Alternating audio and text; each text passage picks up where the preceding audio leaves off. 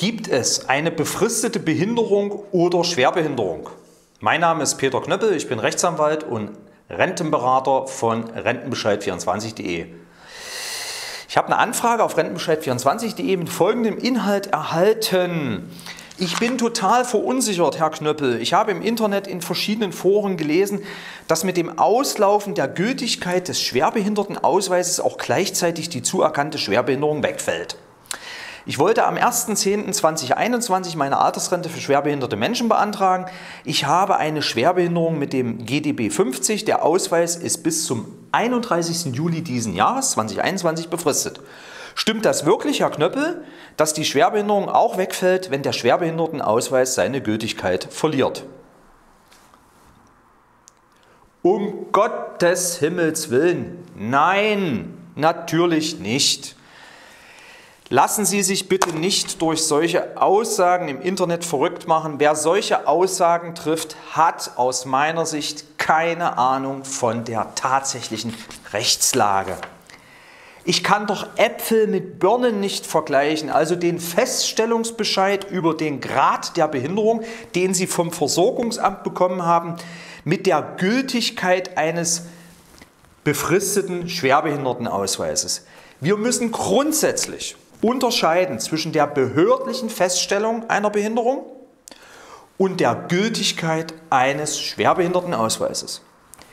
Die behördliche Feststellung auf das Vorliegen einer Behinderung oder Schwerbehinderung ist grundsätzlich zukunftsoffen. Sie ist immer von Dauer. Der Feststellungsbescheid ist immer zukunftsoffen. Das heißt also, die Schwerbehinderung oder die Behinderung kann immer nur auf Dauer festgestellt werden.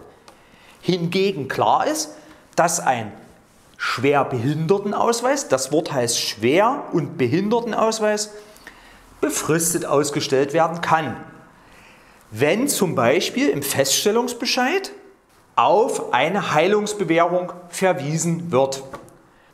Menschen sind doch nur dann behindert, die eine körperliche, seelische, geistige oder Sinnesbeeinträchtigung haben, die mit hoher Wahrscheinlichkeit länger als sechs Monate diesen betroffenen Menschen daran hindern können, an der Gesellschaft gleichberechtigt teilzuhaben.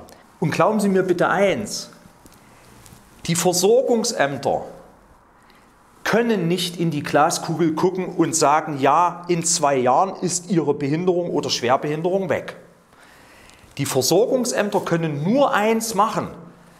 Wenn Sie der Meinung sind, dass es neue, neue Tatsachen gibt oder dass es zu überprüfen ist, ob die Schwerbehinderung tatsächlich noch vorliegt, müssen Sie ein neues Verfahren einleiten. Wir wissen, Schwerbehinderung liegt immer dann vor, wenn ich einen Grad der Behinderung von mindestens 50 habe. Davor heißt das Wort nicht Schwerbehinderung, sondern nur Behinderung. Und wie sieht das jetzt mit dem Schwerbehindertenausweis aus? Auch da höre ich manchmal haarsträubende Sachen.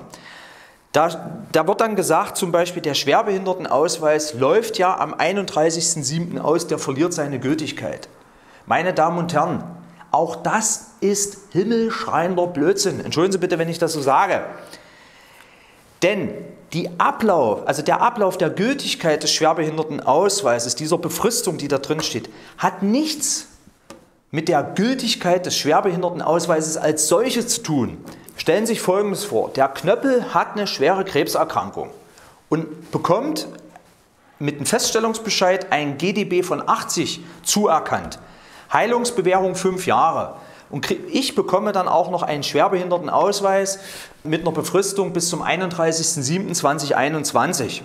Dann kommt das Landesverwaltungsamt und sagt, Herr Knöppel, Sie sind wieder gesund, Sie kriegen, wir erkennen Ihnen jetzt den GDB von 80 ab und Sie bekommen jetzt ein GDB von 40.